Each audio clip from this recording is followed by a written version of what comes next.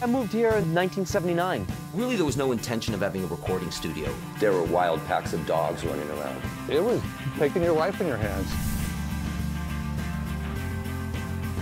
There was basically a void. There weren't that many recording studios that were affordable.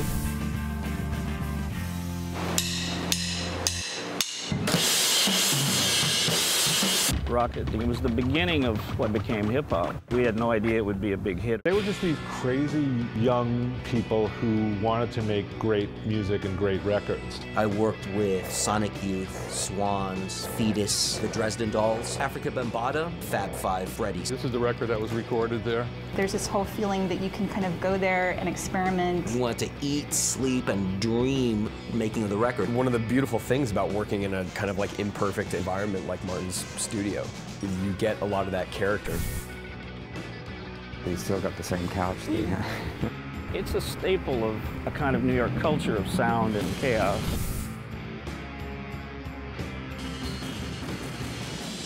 Here is the pond